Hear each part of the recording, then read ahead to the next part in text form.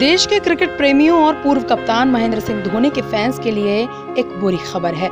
जल्द ही होने वाले टी खेलों की टीम की घोषणा की जा चुकी है। लेकिन हैरानी की बात यह है कि इस टीम में महेंद्र सिंह धोनी को ड्रॉप किया गया है। भारतीय क्रिकेट टीम में शायद ये पहला मौका है जब महेंद्र सिंह धोनी को किसी खेल के लिए ड्रॉप किया गया है। तो क्या बीसीसीआई का ये फैसला महेंद्र सिंह धोनी के लिए चिंता का विषय है? एक खिलाड़ी के तौर पर धोनी को खेलते रहना चाहिए ताकि वो फिट रहें।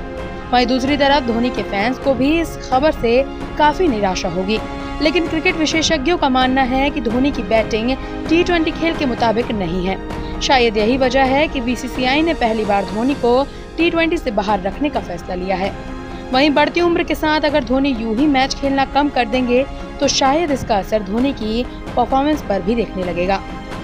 जो शायद महेंद्र सिंह धोनी के क्रिकेट करियर के लिए अच्छा ना हो। नेशन वन से सुष्मिता मुखर्जी की रिपोर्ट।